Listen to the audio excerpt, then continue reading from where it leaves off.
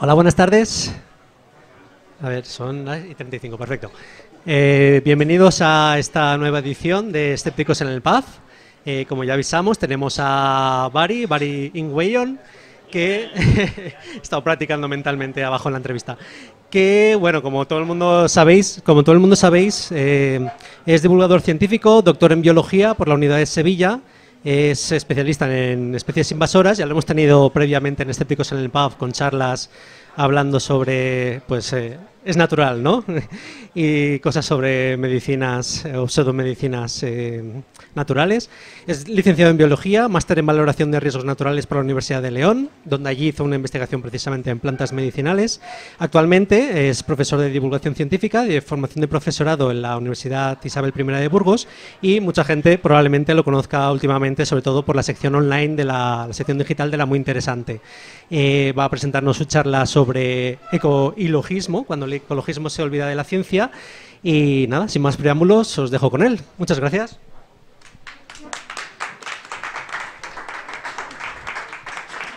Pues muchas gracias, muchas gracias por venir, antes que nada. Gracias a todos.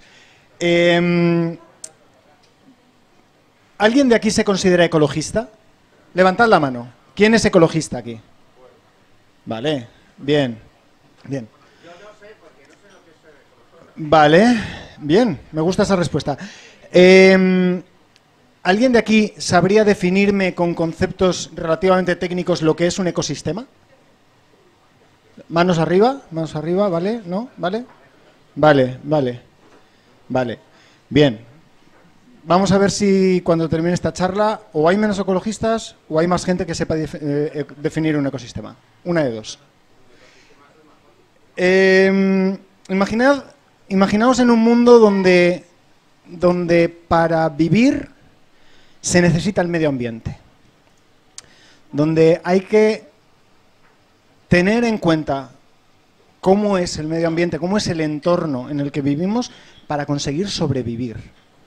Dependemos del agua, dependemos de la tierra, dependemos de las plantas, de los animales, del clima.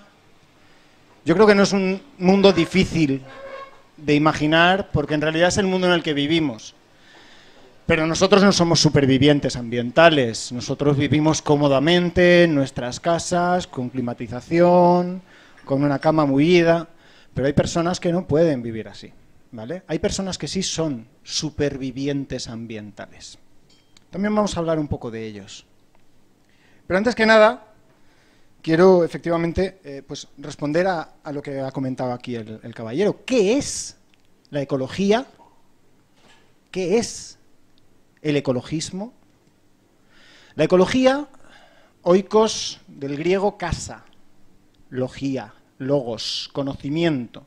La ecología es la ciencia que estudia nuestro hogar, la ciencia que estudia el lugar en el que vivimos, en el sentido ambiental, por supuesto. La ciencia, en resumen, que estudia los ecosistemas. Y aquí os voy a dar una definición de ecosistema que espero entendáis todos. Un ecosistema es, de entrada, es un sistema, un sistema físico, es un, es un conjunto de elementos, ¿no? Y entre esos elementos hay dos tipos.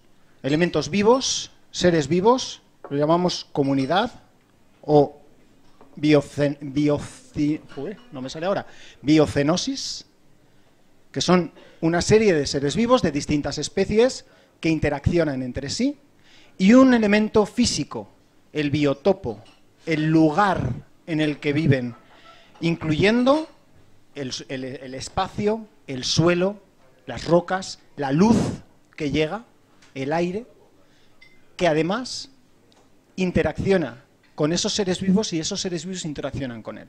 Eso es un ecosistema. ¿Vale? Hemos visto qué es la ecología, qué es el ecologismo. El ecologismo es un movimiento. Eh, oikos, griego, casa, pero logismo, gismo, ismo. El ismo es un movimiento, una tendencia, una corriente de pensamiento. Concretamente es el movimiento que busca la protección del medio ambiente, la protección de los ecosistemas. Es importante esto, porque el ecologismo es un movimiento social, un movimiento cultural, un movimiento político. La ecología es una ciencia. Están relacionados en que su objeto es el mismo, el ecosistema, pero lo abordan desde distintos puntos de vista.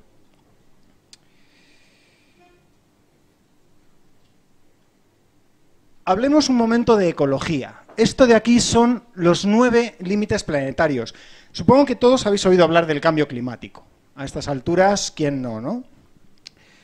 Pues en el año 2009 hubo un científico que estableció que en el mundo en el que vivimos el cambio climático es un, una variable de muchas, especialmente de nueve, nueve variables que son esenciales no solo para el mantenimiento del medio ambiente, también para el mantenimiento de la especie humana.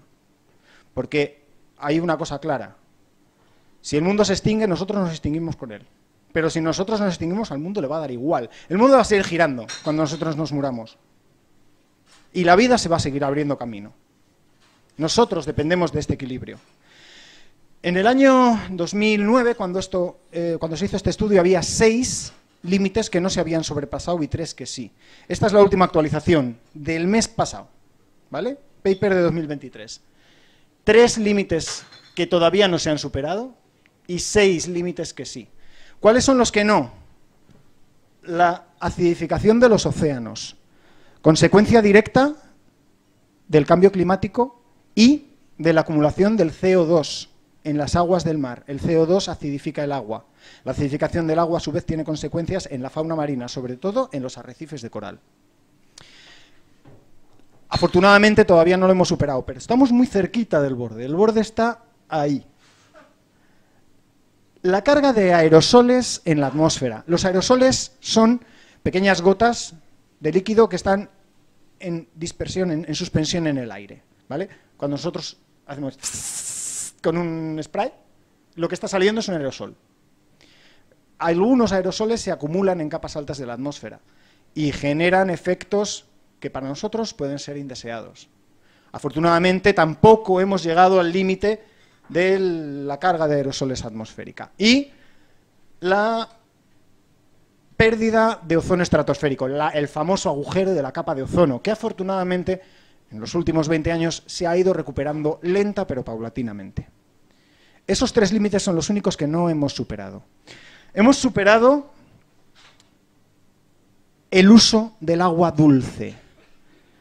El agua dulce es esencial para el mantenimiento de los ecosistemas y para la vida humana. Y hemos excedido tanto en el agua, en la huella hídrica azul, que es el agua líquida disponible, como en la huella hídrica verde, que es el agua que se encuentra en las plantas. Hemos excedido ese límite. Hemos excedido el límite del cambio del uso del suelo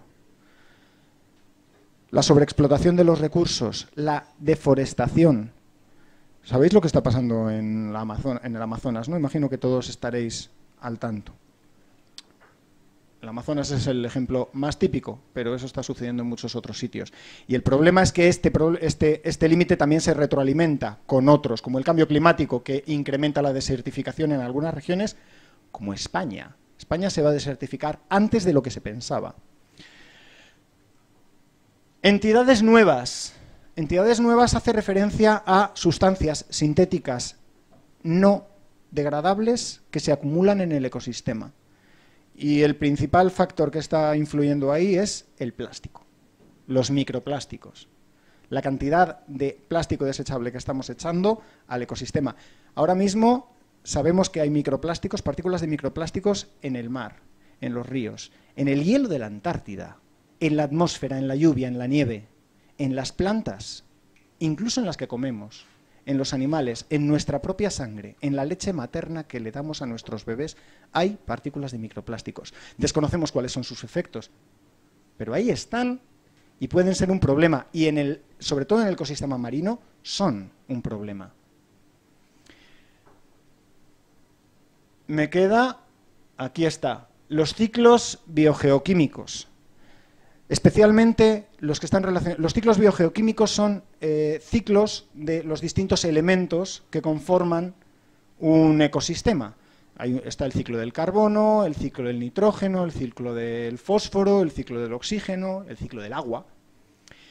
Concretamente, los más preocupantes son el del fósforo y el del nitrógeno, que están relacionados directamente con la acumulación de eh, fertilizantes que por lixiviación o por escorrentía se pierden y llegan al agua, y por la ganadería. El cambio climático. Supongo que ya todos habéis oído hablar del cambio climático. Y el más preocupante de todos, la integridad de la biosfera. Si ese límite se sigue sobrepasando a ese ritmo, el resultado puede ser un colapso de la biodiversidad. Y no sé si sabéis lo que significa el término colapso de la biodiversidad. Significa que los ecosistemas pueden derrumbarse. Un colapso de la biodiversidad es lo que extinguió a los dinosaurios, a la mayoría de los dinosaurios. Algunos sobrevivieron, se llaman pájaros. Un colapso de la biodiversidad es lo que extinguió al 89% de la fauna a finales del Pérmico. Y un colapso de la biodiversidad es hacia donde nos estamos acercando al sobrepasar este límite. Con este panorama, yo creo que es normal que se despierten conciencias ecológicas. A ver, aquí está. ¿Alguien reconoce esos logos? ¿Alguno de los logos? Vale, estas son las cinco empresas, hablando de cambio climático, estas son las cinco empresas que más contribuyen a la emisión de gases de efecto invernadero de todo el planeta. Cinco empresas, ExxonMobil, eh, Saudi Aramco, Shell, BP y Gazprom, que están detrás de cerca del 10% de las emisiones. En total, un tercio de las emisiones están producidas por 21 empresas, y todas ellas del sector de los combustibles fósiles. Estos son sus logos ahora. Pero ellos siguen haciendo lo mismo. ¿eh? Ellos no han cambiado. De hecho, una de estas empresas, bueno, Gazprom, Gazprom no ha cambiado el logo. Al fin y al cabo llevo el nombre de gas en el, en, el, en el logotipo. No, no, no, no hay forma de engañar a la gente, pero las otras, pues, digamos, se han, se han cubierto de verde, ¿no? Se han lavado con verde. Este famoso greenwashing. Eh, como curiosidad, la empresa BP, que es la tercera que más emisiones genera en el mundo, es la que creó el concepto de la huella de carbono. Tiene bemoles. Ellos dicen que era para concienciar a la sociedad de los verdaderos impactos. Mentira, ellos no midieron su huella de carbono propia, empresarial, no. Echaron la huella de carbono a los consumidores. Ahí está, ahí, ahí vosotros os arregláis con, con vuestra responsabilidad. ¿Quién paga la factura? ¿Quién la está pagando y quién la debería pagar? Para mí la respuesta es obvia, pero dejo que penséis vosotros si, preferís. En otro aspecto, hablando de las personas individuales, ya no de las empresas, supongo que conocéis a estos dos, eh, a estos dos, a estos dos. El de este lado es un señor que tiene cara de libro y el otro señor, llamémosle X. Cada una de estas dos personas genera tantas, solo su persona, su forma de vida, sus viajes, su estilo de vida, no hablo de sus inversiones, su estilo de vida genera tanto en un día como cualquiera de vosotros, españoles promedio, en diez meses. Cada uno de ellos en un día, lo que vosotros en diez meses. A este a lo mejor ya no le conocéis. O a lo mejor sí. Este señor es, eh, Roman Abramovich. Este señor es un magnate del petróleo, está detrás de, de Aramco, Saudi Aramco. Y este señor, insisto, quitando de lado sus inversiones, solo su forma de vida, con sus yates, sus vuelos y sus cositas, este señor es el que más emisiones de gases de efecto invernadero tiene en el mundo. Es el señor que más emite. Este señor emite en un día lo que cada uno de vosotros, españoles de a pie, emitís en 12 años. Tengo apuntado el dato, para que no se me olvide. Cada uno de vosotros emitís unas 7 toneladas, 7,5 toneladas de, gases de, efecto, de CO2 equivalente. Este señor emite 31.200 toneladas en un año.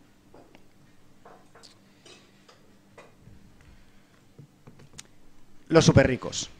Ahí están los superricos. El 1% más rico de la humanidad, donde están estos señores de antes, está emitiendo tanto o más que el doble del 50% más pobre. Es decir, 4.000 millones de personas emiten la mitad de lo que el 1% más rico. Y si vamos al 10% más rico, que es la raya de arriba, está emitiendo casi la mitad. El 10% de la humanidad emitiendo casi la mitad y la otra mitad para el resto, para el otro 90%. Por cierto, vosotros españoles promedio estáis más o menos en el 70 de altura, más o menos en donde, entre ese 7 y ese 11. Esa es vuestra posición, ¿vale? Lo digo porque hay veces que esta gráfica dice, no, pero es que no os dais cuenta que vosotros estáis también ahí arriba del todo. No, no os hagáis ilusiones, no sois tan ricos. Vivís bien, pero no tan bien. En España este panorama no es muy distinto. Esto es lo que emite un español promedio, pues lo dicho, 7,5, 7,7 toneladas. Depende un poco del año, hay años que emitimos más, años que emitimos menos. En 2020 emitimos bastante menos, por ejemplo. No sé por qué. El 1% más rico emite 64,7 toneladas, es decir, nueve veces lo que emite un español promedio. Fijaos que el 50% más empobrecido no se diferencia tanto del español promedio hacia abajo. Sí que emiten un poco menos, pero no tanto menos.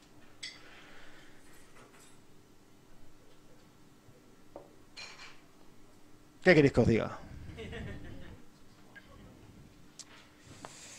Según el alto comisionado de las Naciones Unidas para los Refugiados, ACNUR, en torno a 20 millones de personas al año se ven obligadas a abandonar sus hogares, a abandonar su forma de vida, única y exclusivamente por motivos del clima.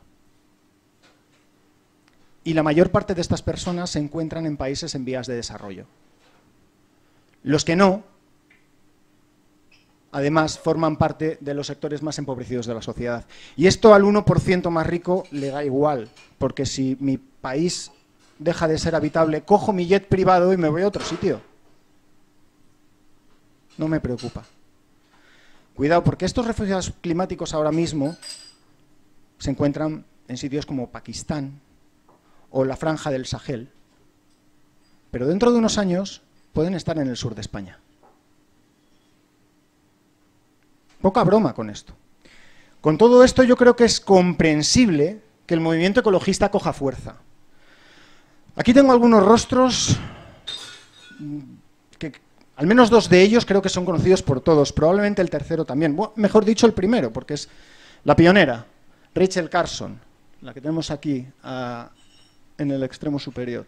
Esta señora escribió Primavera Silenciosa y está considerada como la pionera en el pensamiento en la conciencia ecológica, en la conciencia ambiental.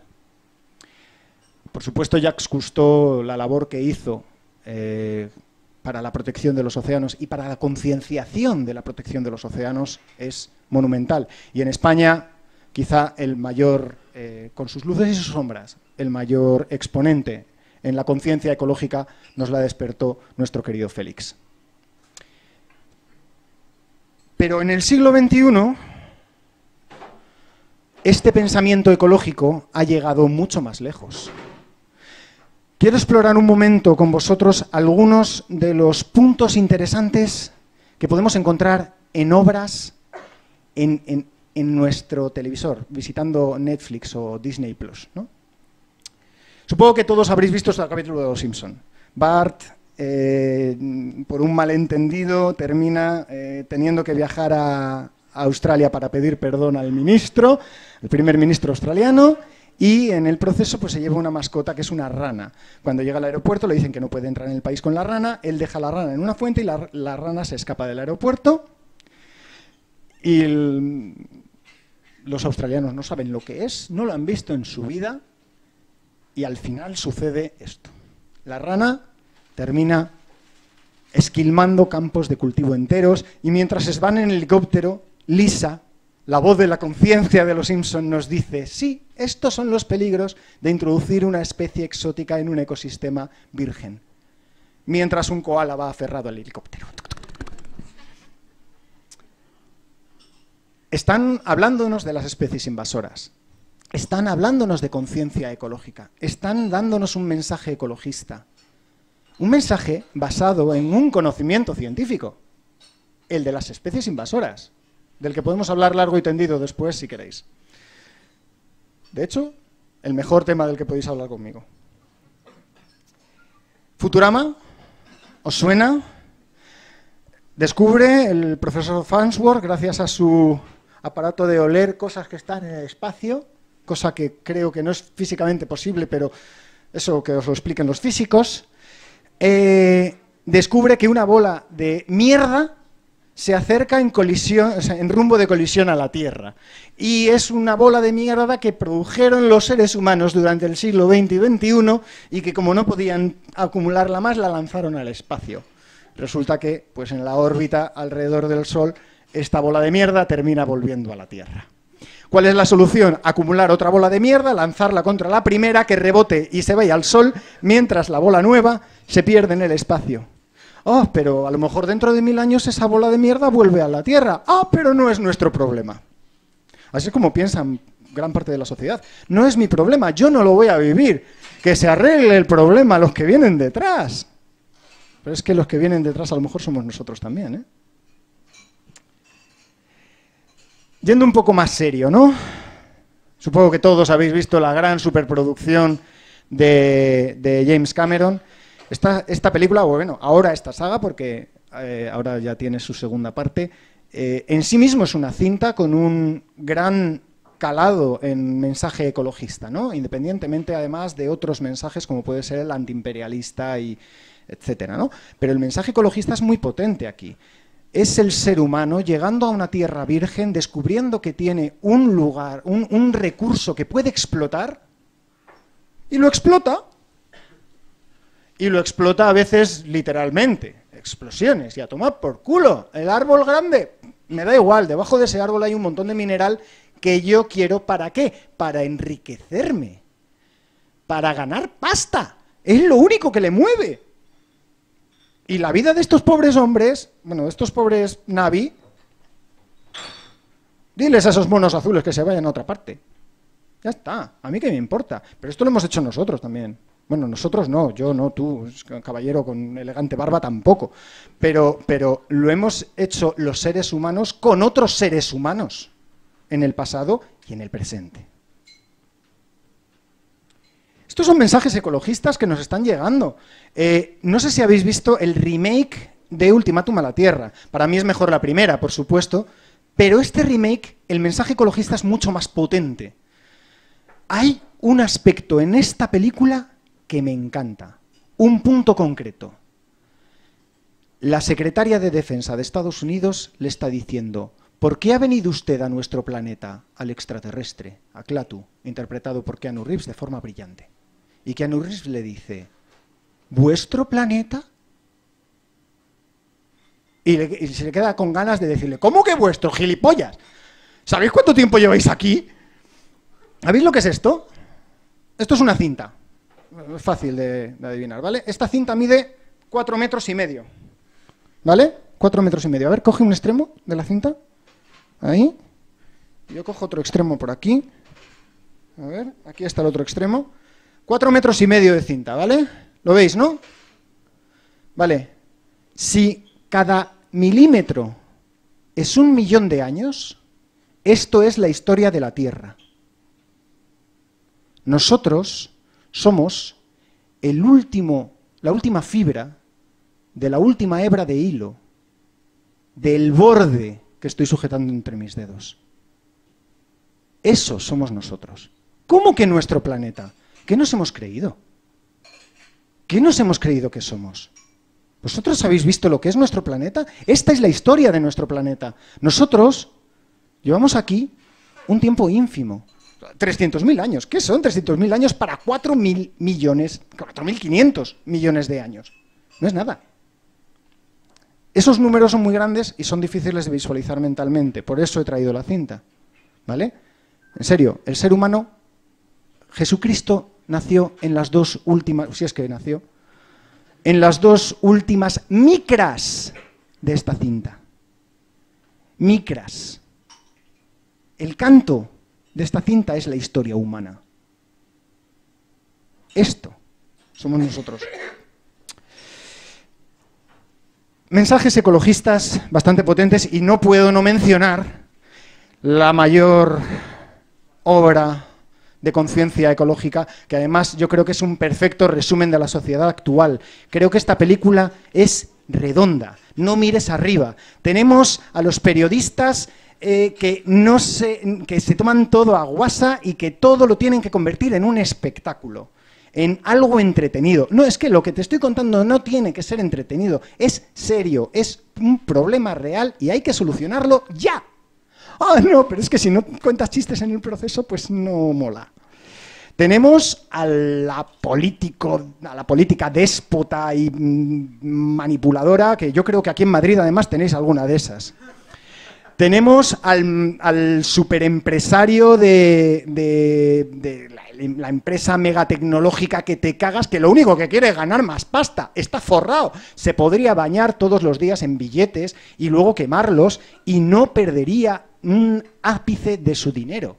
Pero él le da igual, quiere ganar más. Y le da igual saltarse los procesos de revisión por pares del método científico, etc. Le da igual. Él quiere ganar pasta con el, con el problema, convertir el problema en una oportunidad.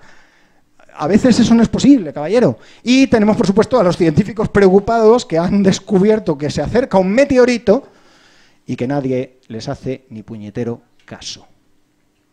Esos son ecologistas y son científicos. Porque no sé si lo sabéis, spoiler, la película no va sobre un meteorito, va sobre el cambio climático. Es fácil de entender, teniendo todo esto en cuenta, teniendo los problemas que estamos viviendo, teniendo en cuenta también la influencia cultural que estamos recibiendo, es fácil de entender que haya un movimiento ecologista fuerte, potente, que desde Rachel Carson hasta hoy han pasado 60 años y estamos con un movimiento ecologista mucho más fuerte, mucho más poderoso y también mucho más cogido con pinzas en algunos aspectos. Porque ¿qué pasa cuando el ecologismo rompe su relación con la ecología? Cuando se divorcian, cuando cada uno se va por su lado. ¿Qué ocurre cuando un puñado de, dicen, ecologistas entran en un terreno que ha de conservarse, no solo por el patrimonio histórico, antropológico, humano, que es muy valioso, por supuesto, también por el patrimonio natural que lleva. en el año 2014 un grupo de ecologistas de Greenpeace entraron en el parque de las líneas de Nazca, pisotearon todo y pusieron unas cuantas pancartas destruyendo patrimonio natural y patrimonio humano. Esto es ecologismo. Pero ¿dónde está la ecología aquí? ¿Dónde está la ciencia? Greenpeace años después se vio obligado a pedir disculpas por esto ante el gobierno de Perú. El, Ministerio de, Cultura, de, hecho, denunció el acto como ilegal, inconsulto y premeditado. Supongo que todos habéis oído hablar de la agricultura ecológica. Ecológica. ¿Ecológico de ecologista o ecológico de ecologismo? ¿De ecologismo o de ecología? ¿Qué ecológico es? Ya os digo, ecológico de ecología no. Pero tiene mucho ecologismo esto. Hay mucho ecologista que planta cuernos de vaca llenos de mierda al borde de su campo de cultivo en luna llena para que los cultivos salgan más fuertes. Eso, eso es en serio, ¿eh? O sea, el cuerno de cabra lleno de mierda, en luna llena además. O sea,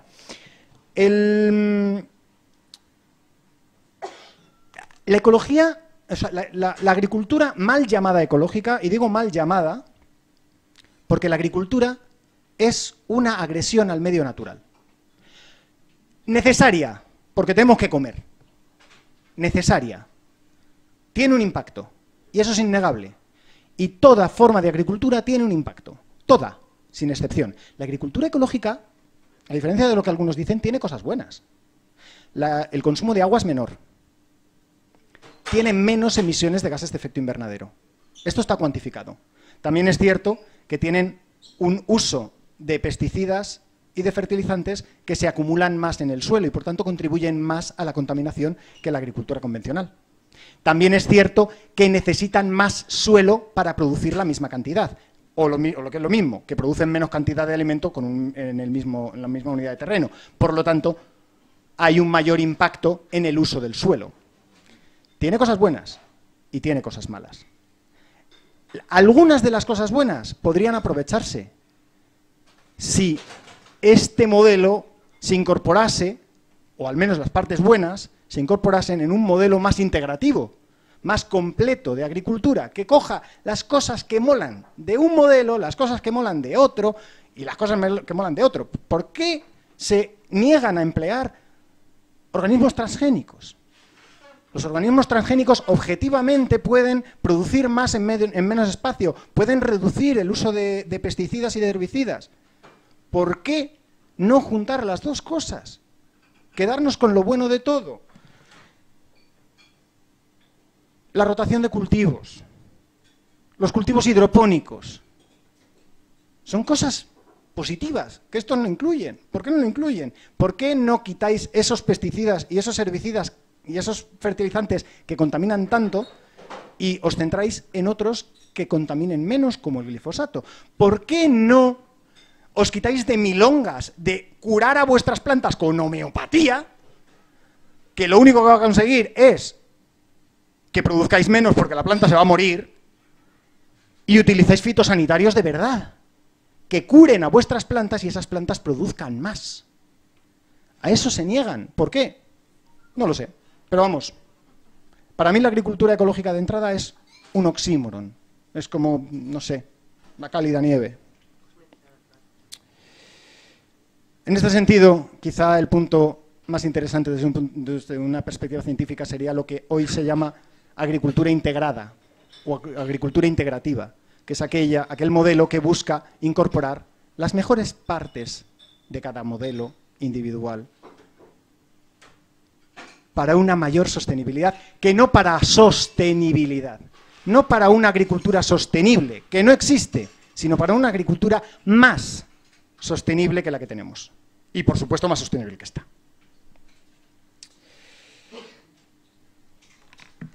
Supongo que todos conocéis a este bicho. ¿eh? Sobre todo en Madrid. ¿Cómo no lo vais a conocer, no? También, si hay alguien de Sevilla, seguro que también lo conoce. O alguien de Barcelona. Eh, O alguien de Valencia. Es posible que los de Zaragoza ya no se acuerden.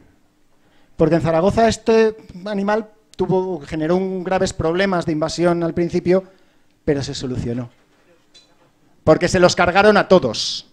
Como decía el, el de Parque Jurásico con los velociraptores. Estos son los velociraptores de hoy en día. Es una especie invasora.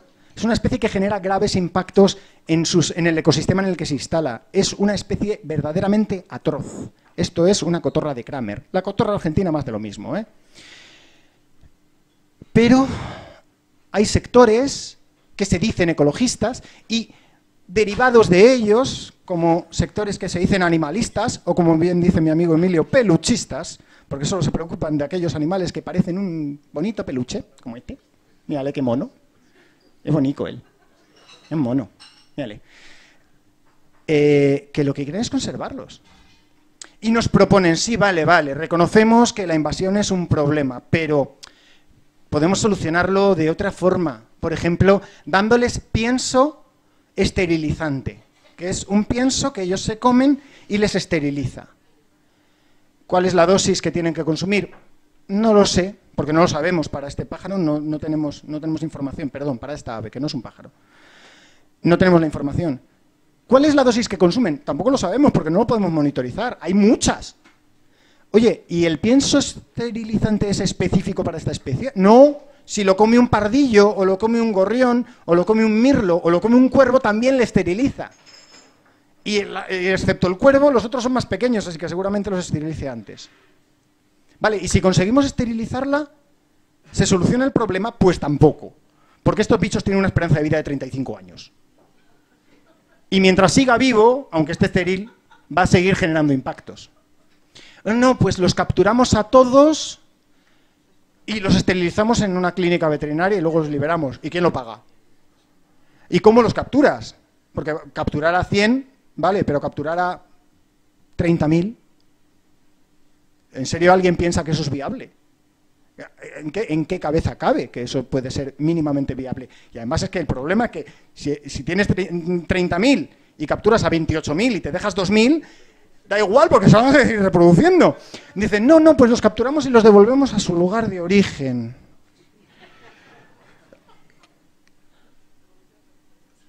¿Cómo? Eh, vale, incluso aunque fuera posible, no sé, un rayo teletransportador a la mierda, ala, ya se vuelve la, cotorra esa para Sudáfrica. Eso también generaría un problema ecológico. Y ese es el problema del ecologismo que no está basado en ciencia. Y es que no son conscientes de que si nosotros cogemos una población que ha sufrido un proceso de selección artificial desde Sudáfrica, que fue cazada una gran cantidad de loros, hasta los que han llegado a los parques de Madrid, han pasado por la captura y muchos han muerto. Han pasado por un barco y muchos han muerto en el viaje. Han pasado por un almacenamiento en algún sitio y muchos han muerto. Una distribución y muchos han muerto. Un proceso de escape de la jaula al medio natural, que hay que ser listo para salir de una jaula, o muy ruidoso, y que el dueño termine hasta los huevos de ti y te abra la jaula a él. Eso es un proceso de selección artificial y lo que estás haciendo es que de cada millón de cotorras que cazaste en Sudáfrica te sobrevivan mil, pero esas mil que te sobreviven son super cotorras. Si las devuelves a Sudáfrica van a generar un problema ecológico allí, van a generar una contaminación genética. Esto es un cuello de botella.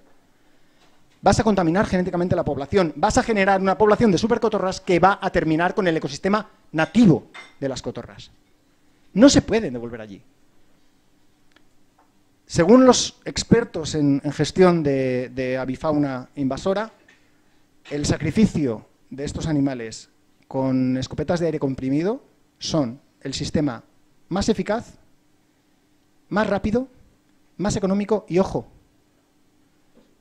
el que menos sufrimiento conlleva al animal, porque no tienes que capturarlo, porque no tienes que intoxicarlo, porque no tienes que transportarlo, porque no tienes que sedarlo. Es un tiro y muere. ¿Es triste? Sí. ¿Es lamentable? Sí. Es un problema que hemos generado nosotros y nuestra es la responsabilidad de solucionarlo. Cuando hablo mucho en una diapositiva se me bloquea el móvil. Aquí. ¿Conocéis a este? Este ya sí que es un poco más viejo.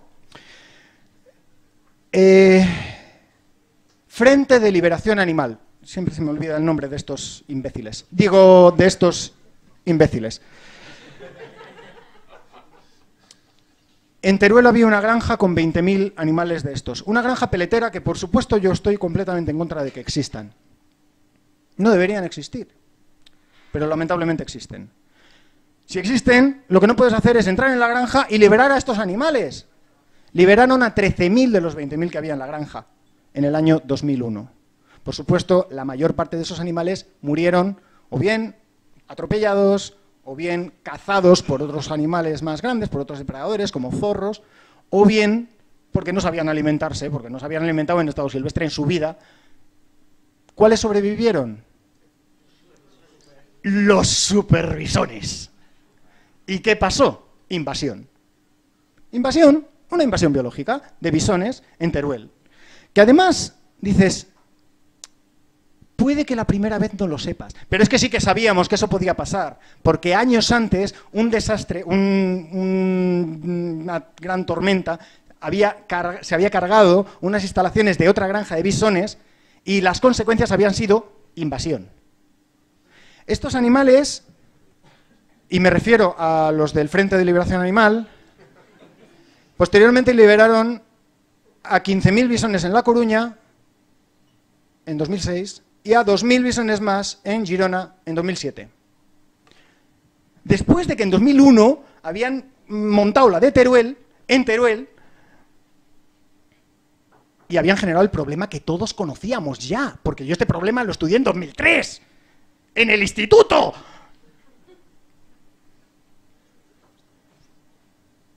Estos animales transmiten enfermedades a la fauna autóctona, compiten con depredadores autóctonos.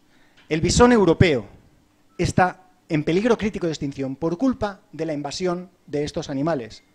Y la invasión de estos animales, en parte, es culpa de un ecologismo no informado por la ciencia, de un ecoilogismo.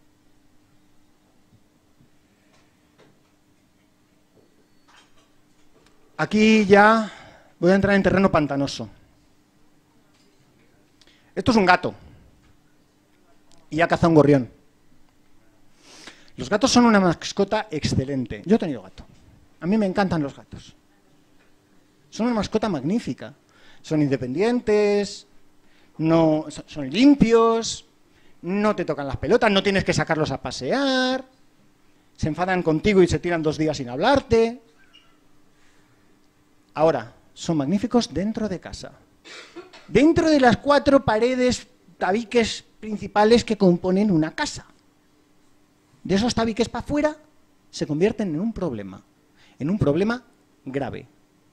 En un problema tan grave, datos, que el 12% de los mamíferos que ingresan a centros de rehabilitación de fauna salvaje, el 15% de los reptiles y el 30% de las aves susceptibles, es decir, aves relativamente pequeñas, obviamente un águila no...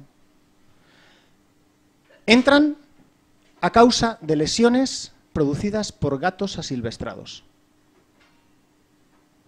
Estos animales transmiten enfermedades a fauna silvestre, entre otros al gato montés, con el que además compite. Estos animales están siendo protegidos por ley en sus colonias.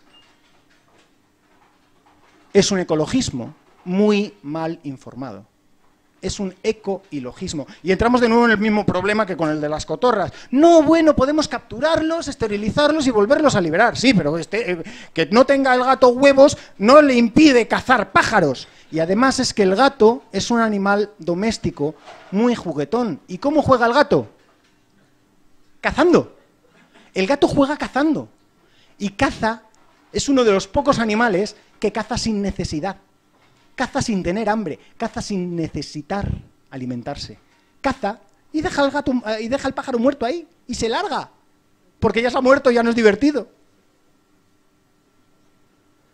Es un problema grave en España y particularmente en los ecosistemas insulares de España, sobre todo en Canarias. En Canarias el gato es una especie invasora acojonante, está provocando verdaderos desastres ecológicos, poniendo a especies que están en peligro en peligro crítico, como por ejemplo lagartos o aves. Además, un informe muy reciente, lamentablemente no lo he citado, ¿vale? Pero es de hace nada, dos meses. Ha indicado que las colonias felinas son un, daño perdón, para el bienestar de los propios gatos. Los propios gatos sufren mucho al estar en una colonia felina. Cuando protegemos una colonia felina no estamos buscando el bienestar del gato, estamos perpetuando su dolor. Planteaos hasta qué punto eso, aparte del daño ecológico que causan, es productivo. Bueno, hay algunos políticos que piensan que sí. Recordemos, por cierto, que uno de los principales y el más grave de los límites planetarios es la integridad de la biodiversidad. Los problemas de las especies invasoras, el gato está detrás de cerca de una de cada seis extinciones recientes de especies. ¿Vale? Y las especies exóticas invasoras en su conjunto son la primera causa de extinción de especies, la primera causa de pérdida de biodiversidad, por encima del cambio climático. Que se dice pronto, ¿eh? Tengo una charla en Nauca sobre un pajarito, un mono, que se extinguió cantando sol, buscando una hembra que ya no existía, porque era el último macho de su especie. Hay que estar muy loco para, para pensar que ese ecologismo es productivo. Pero tampoco podemos demonizar el ecologismo en su conjunto.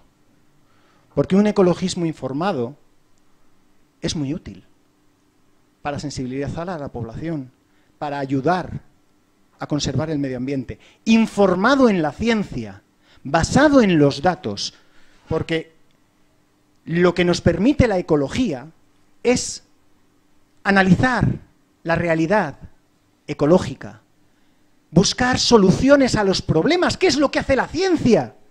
Y el ecologismo puede aplicar esas soluciones con gran fuerza, porque el ecologismo es un movimiento con mucha fuerza social, cultural y política. Pero tiene que estar bien informado. La simbiosis es necesaria. El ecologismo sin la ecología es peligroso. Pero la ecología nos puede servir como brújula para avanzar hacia ese ecologismo informado. Eh, no sin motivo, estas personas que recordaréis de una diapositiva previa hace ya demasiado tiempo, porque me estoy alargando, Rachel Carson, promotora de la conciencia ambiental, era bióloga marina. Ella era científica. Jacques Cousteau era biólogo marino. Félix Rodríguez de la Fuente no era biólogo, él tenía formación en medicina, pero sí que se juntó con verdaderos especialistas en biología, como Miguel Delibes de Castro, hijo del escritor, que es actualmente probablemente la persona que más sabe en el mundo del lince ibérico. Profesor emérito en la estación de Doñana, la estación biológica de Doñana. Estos señores eran científicos y promovían un ecologismo basado en la ciencia, un ecologismo deseable. Porque además, no solo la ecología puede nutrir al ecologismo, es que el ecologismo puede nutrir a la ecología si se hace bien. Porque sensibilizar a la población, porque la presión social, la presión cultural y la presión sobre todo política, desde una perspectiva ecologista bien informada, puede ayudar a financiar estudios de calidad en temas de ecología. Puede ayudar a la financiación de la ciencia, puede ayudar al avance del conocimiento universal del ser humano sobre el mundo que nos rodea. Por eso, el ecologismo sin ecología es peligroso, pero la ecología sin ecologismo es improductiva. Muchas gracias.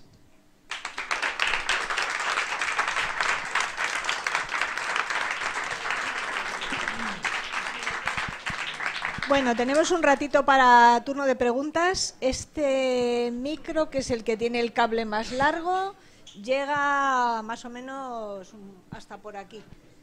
Eh, si levantáis la mano os lo voy pasando y si estáis muy lejos os acercáis.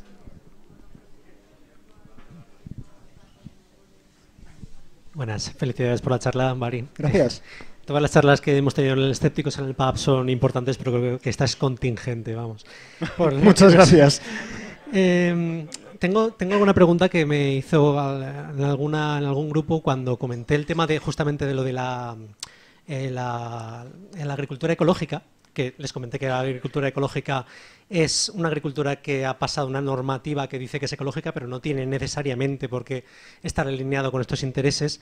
Mucha gente no lo sabe, o sea, todo lo que acabas de comentar, lo de que hasta hace poco incluso se utilizaban eh, herbicidas como el cobre que, contaminaba tremendamente el suelo. Y me preguntaron, bueno, entonces, en tanto que consumidores de ciudad sin huertos ni contactos que hagan aceite, ¿tenemos algún modo de intentar incentivar modos de agricultura respetuosos con la diversidad, la biodiversidad del suelo, el agua, los ríos, etcétera? Es una pregunta muy difícil. a ver, eh, el consumidor de, a pie. A ver, yo de entrada lo que hago es huir del sello ecológico. De entrada. O sea, yo veo una cosa con el sello de la hojita y eso ya no lo compro. Por un lado, porque es más caro pero por otro lado porque soy consciente de que estoy alimentando un bulo al comprarlo. Entonces, esa yo para mí es la primera la primera línea roja es esa. Luego hay líneas grises. Por ejemplo, yo siempre procuro ir al comercio más local. Si a mí me traen unas mandarinas de Sudáfrica y tengo unas mandarinas de, eh, yo qué sé, de León o de Valencia, mejor, eh, me voy a por las de Valencia. Si yo tengo unas manzanas que vienen de Chile y unas manzanas que vienen, esto sí, de León, me voy a por las manzanas de León. Pero tampoco todo vale. Si yo tengo unos aguacates que vienen de Ecuador y unos aguacates que vienen de Murcia, me voy a por los de Ecuador. Porque el impacto que está teniendo el cultivo de aguacate y ahora también de mango y de chirimoya en el sur de España es brutal con la huella hídrica que tiene estos, estos cultivos. Sin embargo, donde se cultivan originalmente, que es de donde es la planta, allí ese problema no existe. Existen otros problemas, por supuesto, pero ese no. Y la huella ecológica que genera, huella ecológica, eh, cuando hablo de huella ecológica me refiero a una huella global, ¿vale? Incluyo ese, mm, esa movida ¿no? de la huella de carbono que se inventó BP, que afortunadamente la hemos corregido desde la ciencia ¿no? y ahora tiene un poco más de sentido, porque, por ejemplo, podemos evaluar la huella ecológica de la huella de carbono de BP, cosas que ellos no querían, eh, como huella hídrica y otros tipos de, impactos, ¿vale? Hablo en conjunto. La huella ecológica de transportar un cítrico desde otro continente hasta España es mayor que la de coger el cítrico de Valencia. Pero la huella ecológica de transportar el aguacate es menor que la de coger el aguacate de Murcia. Entonces, es complicado, en realidad, no es fácil. Luego hay algunos productos que directamente para mí son una, red flag, una, bandera roja. Por ejemplo, yo jamás consumo, ni consumiré, al menos mientras no haya cultivos responsables, chía o quinoa porque son cultivos que allí de donde son originarios son la base de alimentación para muchas personas. Y que al aumentar la demanda desde Europa, hace que suban los precios y esas personas ya no puedan permitírselo. Ya no es solo conciencia ecológica, también es un poco de conciencia social. Y esto algunos ecologistas lo olvidan.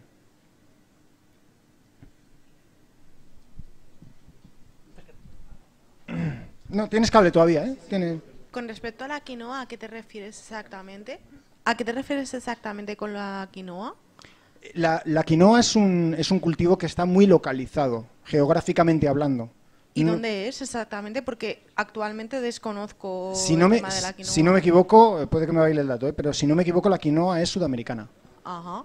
No lo sí, es de, de, los altiplanos, de los altiplanos de ah. Perú y Ecuador, ah, pues del altiplano andino. Ah.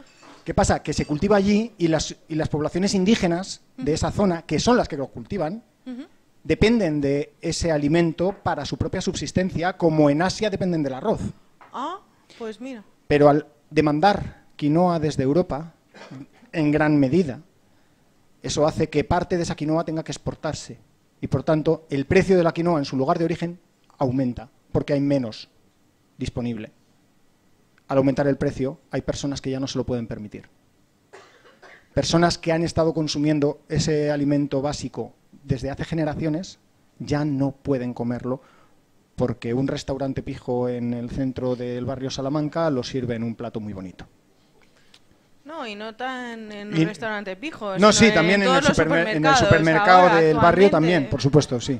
Pero en el barrio, en el, en el, en el restaurante fijo te lo ponen ahí bonito, con, con una hojita de... Y otra pregunta, eh, con respecto a esto de que se lleva ahora con respecto a mm, las gallinas criadas en suelo ecológico, eh, exactamente a qué se refiere, porque eh, es que no, el- no el- me queda el muy huevo claro. el huevo criado el, el huevo de gallina de suelo ecológico. El ecológico Sí. es el huevo Eh, no el suelo y el, eh, y a lo que se refiere con ecológico es que, que tiene el sello europeo que ha sido eh, producido según la normativa europea de ganadería ecológica, que es seguir una mm, receta de cocina, una serie de pautas para que la gallina esté criada en unas condiciones específicas, eh, le estés dando unos- un tipo de elemento específico, por ejemplo, que no lleve GMOs, porque ¿cómo vas a dar a la gallina eh, maíz transgénico? Es malísimo. Un GMO que Un eh, GMO, eh, Gene- Genetic Modified Aliment, eh, o Ah, sea, ok. organismo- organismos modificados eh, genéticamente.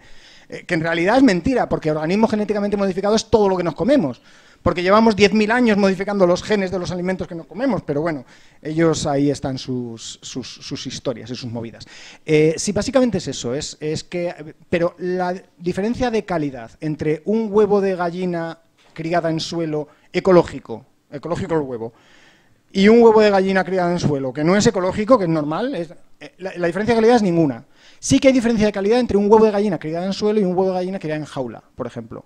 Porque la gallina criada en suelo tiene una alimentación más variada, más rica, tiene una actividad Pero física. el suelo exactamente a qué se refiere con el suelo? Se El refiere suelo, a un eh, recinto en el cual la gallina se puede mover libre y comer del- de lo que hay en el suelo. Ah. El- el- está el está la gallina de, de campo, la gallina de corral, la gallina de suelo, la gallina de jaula. Entonces, ah, vale, vale. lo ideal es, lo- lo- el, mejor huevo es el, cam- el de- el campero, pero, pero ahí sí que hay, hay diferencia en la calidad, pero sobre todo en la calidad organoléptica. El huevo sabe mejor. Pero a nivel nutricional me parece que no hay diferencias significativas. Sí que hay eso, a nivel organoléptico, sabe más rico, sabe más fuerte, el- el- sobre todo en la yema se nota mucho, al menos yo lo noto mucho. Allí, allí, luego aquí. Y yo quería saber eh, alguna información al respecto del reciclaje de los bricks eh, para envases. Eh, ¿Hasta qué punto no tienen ninguna relación, porque desde luego en los medios no he visto que se haga esta relación, con los microplásticos? O sea, es absolutamente acreditado que estos procesos no expulsan agua que ha sido usada para el desmenuzamiento de todos estos productos. A ver, en principio, y digo en principio porque hay un problema con el reciclaje, eh, en concreto con una empresa concreta española que es Ecoembes. Y es que es muy hermética en sus resultados. Hay muy pocos informes. Y, es muy difícil hallar información sobre lo que están haciendo realmente. En principio, teóricamente, y insisto, teóricamente, eh, el reciclaje de los bricks se está haciendo correctamente y efectivamente no está eh, involucrando una contaminación en forma de microplásticos. Lo que no significa que el brick sea reciclable, porque el brick es, eh, a, diferencia de lo que nos han contado muchas veces, es una de las, uno de los productos más difíciles de reciclar. Es súper complicado de reciclar. Pero entonces, ¿hay alguna posibilidad de informarse en otro país ya? Bueno, Ecoembes es un poco como lo de los bancos de alimentos, o sea, son las propias empresas, las más grandes, las que lo componen, no está imbuido o relacionado con la opinión pública o los propios consumidores, no, no tenemos voz. Eh, esto se lo guisan y se lo comen ellos y nos dicen lo que cuesta y tenemos que invertir nosotros en esa empresa para que sigan haciendo lo que no sabemos que hacen. Pero digo, eh, ¿hay alguna manera en YouTube, en algún sitio, saber cómo se hace el proceso ese y verlo? Digo en otro país, no sé, Noruega o... Pues te, te voy a ser sincero, no lo sé. Es que yo No lo sé. creo que hay muy poca Es- información. creo que es un tema muy interesante, creo que es una pregunta muy acertada. Lamento mucho no tener una respuesta, pero sí que es cierto que eh, es muy difícil hallar esa respuesta por dos motivos. Motivo número uno, Ecoembes y las empresas de reciclaje relacionadas, eh, incluso en otros países, son empresas muy herméticas que no publican sus datos o los publican muy sesgados y es muy difícil encontrar datos mm, fiables. Pero por otro lado, hay mucho interés también desde grupos ecologistas en demonizar estas empresas y yo no sé, no tengo los datos, por lo tanto no puedo hablar hasta qué punto esa demonización es cierta o no. Porque esos grupos ecologistas también tienen sus intereses eh, a nivel social en presionar para eh, ser ellos los que se lleven parte del pastel o para, para tener mayor presión en la, en la opinión pública. No tengo los datos. Sí, por eh, supuesto, si tienes esos datos. No, no los tengo, pero sé que tengo el teléfono de quien. Hace unos meses tuvimos una charla específica sobre reciclaje, sobre todo el tema de, pues eso, cómo funcionaba todo esto. Y no recuerdo el nombre del ponente ahora, Miguel Lavalle, puedes consultar directamente en la convocatoria su, su, enlace, sus coordenadas para preguntarle, porque yo entiendo que él estará más, al menos sabrá dónde informar o dónde informarte. Había aquí, sí, él, estaba primero. Hola, en primer lugar, muchas gracias, ha sido muy interesante. ¿Sabes lo que es un ecosistema? Más o menos, pero bueno, no me hagas que lo defina. no, no, no, no te voy a poner ese aprieto. Entonces tengo algo que me produce una cierta confusión. Por ejemplo, aquí nos ha dicho algo que son los productos bio. Entonces yo la idea que tengo es que la agricultura ecológica eh, al final lo que, eh, lo que pretende es eh, producir algo bio que el consumidor al, al, comerlo o, al, utilizarlo no va a tener ningún efecto nocivo para su salud. Pero claro, yo por ejemplo, un ejemplo, yo he comprado eh, en un supermercado de estos de, bueno, en Aldi, que por cierto tienes una bolsa de Aldi, panela. Panela es básicamente eh, caña de azúcar menos refinada. Entonces pone eh, producto ecológico no UE, hecho en Colombia. Digo, joder, es ecológico, pero ¿cómo lo han traído? Entonces, ¿será ecológica la producción? Pero luego, en cuanto al ecologismo, la ecología tiene poco ecológico. Eso sí, posiblemente me garantice mejor que sea un producto eh, menos nocivo para la salud que si lo han producido de otra forma, ¿no? Entonces, es complicado, ¿no? Porque eh, dices, ¿qué es la agricultura ecológica? ¿Es un medio, es un fin? Al final, ¿qué es? Porque los consumidores lo que buscamos es un, a lo mejor, los que lo buscan, eh, si pueden permitírselo, porque normalmente tiene un sobrecoste, es un producto bio que es menos nocivo para mi salud. Pero en cuanto al punto de vista de producción, vale. y te voy a dar un ejemplo de otra cosa, los coches eléctricos. Los coches eléctricos tienen unos aspectos muy poco ecológicos, como el reciclado de baterías de litio, la producción de energía eléctrica, etcétera. Pero bueno, ese es otro tema que nos de hoy. Entonces, yo lo veo un poco el paralelismo, ¿no? Dices, es un, poco contrasentido, o, no sé, yo tengo una confusión que no... No sé si nos la puedes aclarar. Sí, a ver, eh, respecto a la agricultura mal llamada ecológica, o también llamada bio, que es otro término que tampoco entiendo porque biológico es todo lo que está vivo. bueno, hay, hay, hay paquetes de sal biológica que, que, me quedan... Cloruro sódico, con trazas de potásico y yodo. ¿Dónde está lo biológico ahí? Pero bueno, al margen de ese, de ese punto, ¿no? Eh, cuando hablamos de eco o de bio, en Europa es una etiqueta. Ya está. Ventajas, medibles ninguna. Hay metaanálisis que han estudiado los impactos ambientales de la agricultura convencional y la agricultura ecológica. Y como he dicho antes, en algunos productos eh, la convencional tiene ventajas e inconvenientes y en algunos productos la ecológica tiene ventajas e inconvenientes. Por ejemplo, en general, la ecológica gasta menos agua que la convencional. En general, la ecológica gasta mucho más espacio que la convencional las gallinas que entran por las que van saliendo. en términos de salud, hablabas en términos de salud. Todo lo que, todo lo que comes, todo lo que comes lleva unos controles de seguridad. Además, la EFSA, la, Agencia Europea de Seguridad Alimentaria, es una de las agencias alimentarias más rigurosas y más estrictas que hay todo lo que comes ha pasado por controles de, seguridad y no te preocupes que la panela ecológica bio que te viene de Colombia, que a saber cómo lo han cultivado, pero bueno, que tiene el sellito ahí, es igual de nada saludable que el azúcar blanco de caña o de, o de remolacha. Igual. Es azúcar. Más refinado, menos refinado, tiene un sabor ligeramente distinto. Si tienes un buen paladar puedes detectar ciertos matices. Vale, te gusta más, te gusta menos. Punto. Esa es, esa es la única diferencia. Organoléptica, eh, el sabor. Y la diferencia no está en que, la, en que la panela sea ecológica o no, sea bio o no. Está en que es panela. Y la panela tiene ese sabor. Pero la panela es 98% azúcar. Y el 2% de impurezas, que es lo que le dan ese sabor y esa textura y esa tal. Ya está. Es como la miel. Mm, A menos que sea una miel adulterada que venga de China y le hayan mezclado con almíbar o cosas así, que las hay también.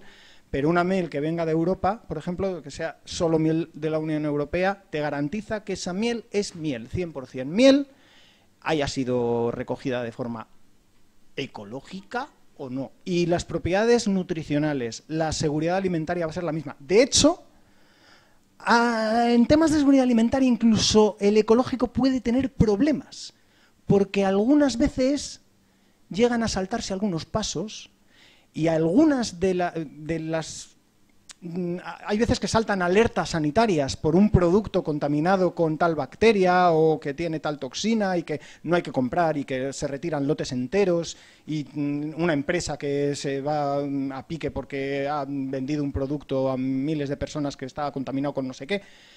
Curiosamente, siendo la producción ecológica un porcentaje relativamente bajo de, la producción total en Europa, eh, quizás estamos hablando de un 5, un 7% de los alimentos que se venden son ecológicos, el resto no. Las alertas sanitarias en ecológico rondan el 45-50% de las alertas de todo. o sea, que realmente hay más alertas sanitarias producidas por alimentos ecológicos o bio o mm, eco cosa que por convencionales. Sí, pero, pero déjame que te dé otro ejemplo más sencillo. Quizás a lo mejor ese ejemplo dices Colombia, tal. Pero vamos a suponer que, eh, vamos, que me lo ponga más cerca. Vamos a, su- a suponer, por ejemplo, que eh, estamos hablando de tomates hechos en Murcia, ¿Vale? unos que son bio y otros que no. Entonces, Vale. el bio supuestamente me está garantizando que no se han utilizado pesticidas químicos. No es cierto. Vale, sí, bueno, termine, espera, perdón. A ver, bueno, esa termine, afirmación termine no- el argumento. No sé si el que produce sería, pero vamos, vamos a, eh, yo creo, si, si, a ver, si por ese eh, eh, pretendemos que no sea cierto todo, yo creo que puede ser cierto. Vamos a suponer que el que los produce es una, es una empresa eh, ecológica y que lo produce de forma honesta y, y lo Vale. que hace y, y los controles, etcétera, y no utiliza pesticidas químicos.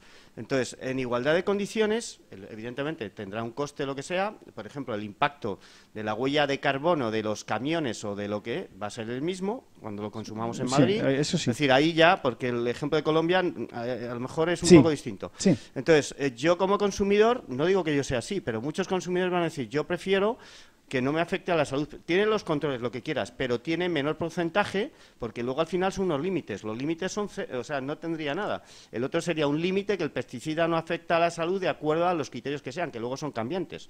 Acordémonos del aceite de oliva, que está demonizado hace muchos años y ahora es como la leche, ¿no? Vale, los criterios- mm. Entonces, eh, en ese, eh, bajo ese punto de vista, ¿Qué me puedes decir? ¿no? Vale. Porque a lo mejor ecológicamente dices, no, incluso han utilizado más agua, más tal. Voy, voy a empezar por el final Entonces y voy es a... lo que me- a mí me produce Sí. un poco de confusión, que no... Vale, no voy, a, voy a empezar por el final y voy a terminar en el principio. Eh, los criterios son cambiantes y van a seguir siéndolo, porque la ciencia cambia. El conocimiento avanza y se hacen nuevos descubrimientos. Eso es impepinable. Los criterios siempre van a cambiar. Es algo a lo que tenemos que acostumbrarnos. Si queremos algo que, que tenga criterios fijos, inamovibles, tenemos que irnos a la religión. ¿Vale? Y la religión no es que aporte muchas respuestas mm, fiables. Eh, al margen de eso, eh, los criterios que se emplean en seguridad alimentaria son los más rigurosos hasta la fecha. Si mañana se hace un descubrimiento, esos criterios cambiarán, por supuesto. Puede que hacia arriba o hacia abajo, pero hasta la fecha lo que se sabe es lo que se sabe, es el conocimiento que se tiene y es la base para establecer esos criterios. A mayores, ya yendo hacia el principio del argumento, y creo que es la pregunta central. Un tomate, eh, en ningún lu- lugar de la normativa indica que un tomate ecológico o cualquier producto ecológico no emplee pesticidas, herbicidas, etcétera. En ningún, en ningún lugar. Un tomate puede tener el sello ecológico y haber sido producido con pesticidas y con herbicidas. Tener ese sello y ser un cultivo ecológico según la legislación europea de la agricultura ecológica. Lo que cambia es qué pesticida se ha empleado. ¿Qué pesticida se ha empleado? ¿Importa? Importa, para el consumidor importa lo que a él le llega. Y lo que a él le llega es ese tomate con el pesticida ecológico versus ese tomate con el pesticida convencional. Esos dos pesticidas tienen unos límites de seguridad establecidos y el tomate tiene que estar por debajo de esos límites. Si está por debajo de esos límites, el tomate se considera seguro. Sea ecológico o sea convencional. Ya está. No hay más. Entonces, eh, imaginemos que hay una empresa que coge y hace tomates ecológicos en los que no emplea ningún pesticida, vale, pero sí que ha empleado, por ejemplo, mm, fertilizantes, que también se pueden acumular. No, no, tampoco ha empleado fertilizantes. Mm, vale, si mi abuela tuviese ruedas, sería una bicicleta. No existe ese, ese tomate, no existe. Vamos, a menos que tú, en tu huerto urbano, cultives tu tomatito en el balcón, como decía la señora, con su macetita, y vas a no vas a acumular en ese tomate los pesticidas, los herbicidas, los fertilizantes, porque tú controlas lo que le echas y decides no echarle nada, pero sí que vas a estar acumulando toda la polución que está llegando del tráfico, etcétera, eh, que te llega desde la calle y que se deposita en el suelo, se deposita en la planta, la planta absorbe y lo va a retener. Entonces, ¿Tú sabes si esos, si esos contaminantes están dentro de los límites o no? Mm, probablemente no lo sepas. Como te llueva en el balcón, te va a caer toda esa boina que tiene Madrid tan bonita encima, te va a caer encima de la tomatera. Eh, si estás en un pueblo, pues a lo mejor tienes más suerte. Eh, al final lo que cuenta es qué llega al consumidor. Al consumidor le llegan dos tomates que en términos cualitativos, es decir, a nivel de calidad, tanto calidad eh, nutricional como seguridad alimentaria e incluso a nivel organoléptico son iguales. Son iguales. Eh, hace unos años Farmagema hizo, Gema del Caño, eh, farmacéutica, muy buena persona y mejor divulgadora, hizo una cata a ciegas de tres tomates. Un tomate comercial con sello ecológico, un tomate comercial de agricultura convencional y un tomate cultivado en un huerto eh, eh, en, su casa. En La cata a ciegas evaluaba distintos aspectos del sabor, la textura del tomate. ¿El tomate que ganó fue el ecológico? No. El ecológico y el convencional quedaron empatados. El que ganó fue el del huerto mm, casero. ¿Por qué? Porque lo acabas de recoger de la mata. Lo has abierto y te lo estás comiendo. Está conservando todos sus, sus principios activos, todos sus eh, aromas, todo su sabor. El que has cultivado en Murcia y te llega a Madrid, se ha cortado de la planta verde, se ha metido en una cámara, se ha transportado hasta Madrid, ha pasado a otra cámara, de ahí ha pasado a un almacén, ahí a un distribuidor, de ahí a la frutería o al supermercado, de ahí a tu bolsa de la compra, a tu casa, a tu nevera, tres días, lo abres, te lo comes. Es que los tomates ya no saben a nada. Claro. Pero nutricionalmente es el mismo tomate. y en términos de seguridad alimentaria, también. Eh, aprovecho para añadir que hace pocos meses tuvimos una charla sobre coches eléctricos que te puede interesar para también por se evaluó todo este tipo de cosas de impacto. Eh, hola, hola gracias. Buenas. mi pregunta era sobre estas últimas cosas que nos estás diciendo. Nos has hablado de ecologismo, ecolo, eh, ecoilogismo. Y luego, ahora estás hablando de, las, de, la marca, del marchamo, de la etiqueta. ¿Hay una sola etiqueta ecologista o hay varias? Porque oímos hablar de, etiqueta ecologista, de etiqueta orgánica, de etiqueta... Antes había bio, creo que ya no existe, pero sigue en nuestras cabezas. ¿Cuántas hay? ¿Hay una única oficial europea? ¿Hay marcas, eh, marchamos privados que dan etiquetas? ¿Cómo funciona esto? ¿Y en qué se basan para dar etiquetas? oficialmente hay una europea en Europa. Hay una que es la europea. ¿Qué pasa? Que hay muchos productores que no producen sus alimentos en Europa y quieren venderlo en Europa con su sello ecológico. Entonces lo que pasan es una serie de auditorías y de revisiones para verificar que eso se cumple. Ahora, también existen sellos que no son el europeo y que están en el etiquetado en algunos productos y como no es el sello europeo, en realidad no está cumpliendo la normativa europea de productos ecológicos. O incluso en el mercado que te encuentres, claro, es que aquí eh, vivís en la Gran Villa y, no tal, pero eh, en, algunos pueblos de España se pone un mercado, ya sé que aquí también, eh, donde llegan agricultores y te dice, yo lo cultivo todo ecológico, y te pone ecológico así, con cartel muy grande, y te pone un montón de, de lechugas y algunas todavía tienen la babosa ahí. Y Joder, si está la babosa ahí todavía eh, comiéndose la lechuga, tiene que ser ecológico por huevos. No, claro, sí, lo ha cultivado en su jardín, lo ha cortado y te lo ha puesto sin limpiarlo, sin quitarle la babosa ni nada. Vale, pero ¿cumple con la normativa ecológica? Probablemente no, pero a él le da igual y a ti también. Ibas a decir algo eh, eh, sobre el sello y a lo mejor es... El de bienestar, en- anima- bienestar animal. Ah, y el sello de bienestar animal me encanta. Porque, en- por ejemplo, en cosmética es completamente inútil. Pero está ahí. Eh, lo ponen, pero es inútil porque en Europa está prohibido experimentar con animales en, en productos cosméticos desde 2003, Hace 30 años casi ya. creo que hace 20. Creo que es 2003 la- el fin de la normativa. Sí, empezó la batalla desde antes, pero creo que la norma- Pero puedo estar bailando la fecha, ¿eh? puede que sea antes, sí. Bueno, eh, todos los que nos dedicamos a, a las ciencias naturales en general, pues, Qué bonito. sí. hemos tenido nuestro contacto con, con el ecologismo y, y, bueno, pues hemos podido, pues en mi caso, alguna vez ofrecer conocimiento a, a alguna causa y demás. Y, y personalmente lo que, lo que he recibido ha sido indiferencia. Eh, no me han hecho ni caso. Cuando, cuando a, a lo mejor había una actuación en el- la que el ecologismo estaba metido en, en una zona que yo conozco y demás, pero digo, oye, que mira, que os puedo aportar aquí ciertos conocimientos y demás, eh, no me han hecho ni el menor caso. Eh, en- ¿Podrías contar tú alguna anécdota de contacto directo con ecologistas a la, eh, eh, que has tenido, demás, eh, pues por ejemplo con, con el caso de las especies invasoras y demás? A ver, eh, aquí yo creo que es que hay dos tipos de...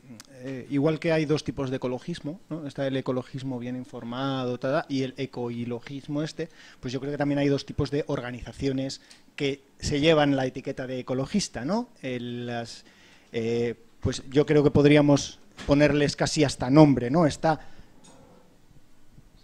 Greenpeace y está SEO BirdLife. SEO BirdLife está compuesto principalmente por científicos, ornitólogos, zoólogos. ¿Es una asociación? Sí. ¿Es ecologista? Sí. ¿Tiene presión en términos ecologistas? Por supuesto. A veces no tanto como debería. ¿Van a hacer caso a un científico que llega, oye, ¿os puedo ayudar con esto? Por supuesto. Greenpeace, ¿tú qué vas a saber? ¿Qué vas a saber? Seguro que estás a favor de los transgénicos y estás ahí, ¡ah, nuclear sí, nuclear sí! ¿Qué te crees que eres?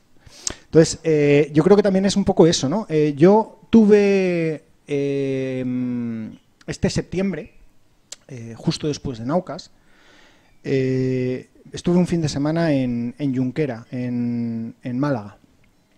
Me habían invitado para unas, una serie de conferencias sobre tema de conservación, medio ambiente y cambio climático en, en la Sierra de las Nieves, que no sé si lo sabéis, pero es uno de los lugares que conserva uno de los mayores pinsapares de España y por tanto del mundo, porque el pinsapo es endémico de- del sur de España y el norte de Marruecos. Eh, yo hablé del cambio climático de forma global, di algunas pinceladas de lo que os he hablado aquí, por supuesto mucho más breve, porque solo tenía 10 minutos y no me podía extender como aquí, que os he podido dar la chapa. Y, mm, y luego hablé también brevemente, porque era el tema más central de la conferencia, del pinsapar de Junquera y de otros pinsapares de la zona y de cómo el cambio climático iba a afectar a este tipo de ecosistema. Y yo me encontré entre el público, bueno, aparte de un, de un alcalde eh, que no me avergüenza decir que me reí en su cara de él. Eh, creo que me gana un, un enemigo entre la derecha de la política española. Eh, otro más. Eh, em, aparte, yo encontré entre el público dos tipos de personas.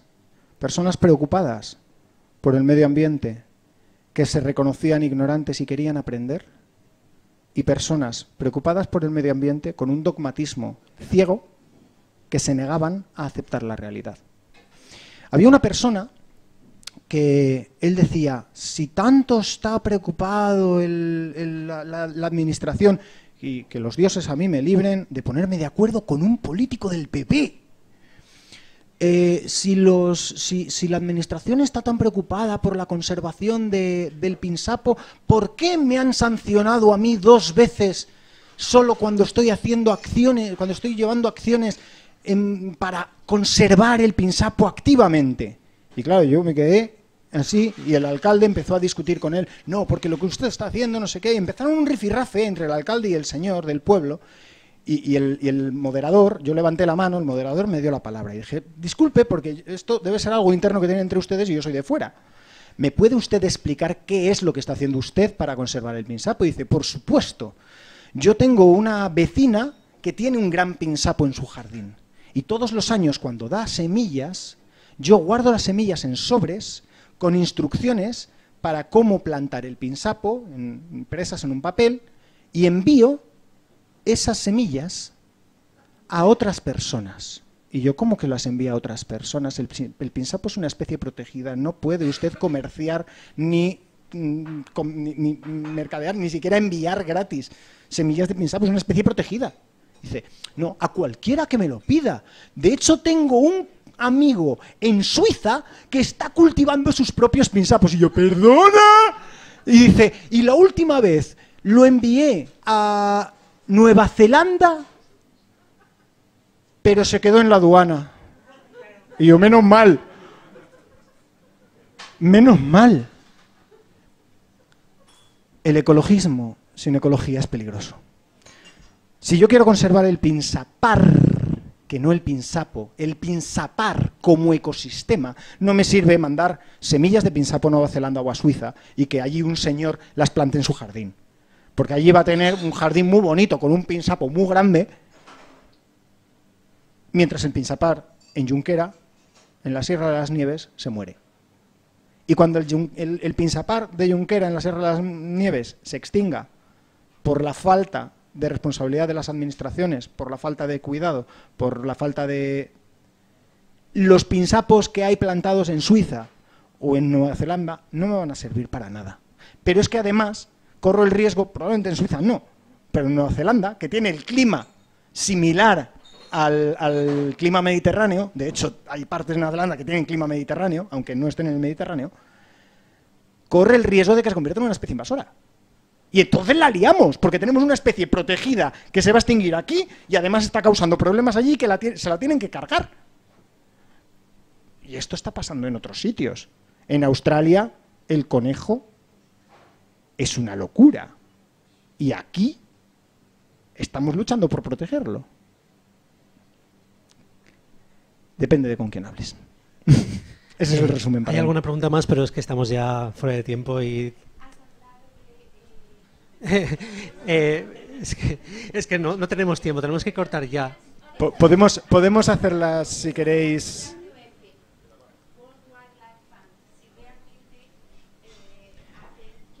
Adena.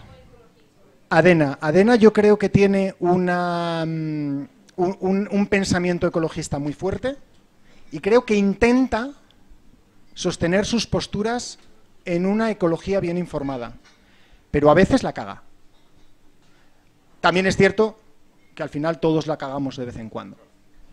Hay que ser un poco flexibles en ese sentido también. Todos nos equivocamos. Yo creo que Adena lo intenta. No es como Ecologistas en Acción o Greenpeace, que es que no lo intentan, es que lo niegan. Adena, yo creo, vamos, yo no he tenido experiencia directa, pero sí que he leído cosas de Adena y demás, y yo creo que lo intentan. Bueno, pues eso, eh, se nos va el tiempo. Eh, ha sido una charla interesantísima. Creo que se nos quedan 100.000 preguntas. Luego, si os quedáis a la cena, eh, les podéis asaltar con alguna más. Eh, solo quería agradeceros vuestra presencia. Recordad que os podéis, eh, mira, justo, ¿ves? Eh, que os podéis asociar. Creo que hay folletos, no sé si han dejado folletos por ahí, si no, ahora los dejaremos. Invitaros a que veáis en la, en la web de Escépticos en el PAF todo este tipo de charlas que hemos hecho, porque a veces hemos desgranado algunos eh, temas de los que han salido por aquí con más detalle. En la mesa hay algunas revistas que os podéis llevar. Y nada, simplemente emplazaros. Bueno, en diciembre hacemos eh, fiesta, porque es imposible cuadrar algo que, es- que haya gente y no estén todos medio borrachos por ahí. Y en enero eh, empezamos el día 20, si no recuerdo mal, con Ignacio Crespo, que es eh, ese de. Ese, ese de Stendhal. decir, Qué de majo. Stendhal. Con lo cual os emplazo a, a vernos el año que viene, en 20, con ese de Stendhal. Muchas gracias a todos.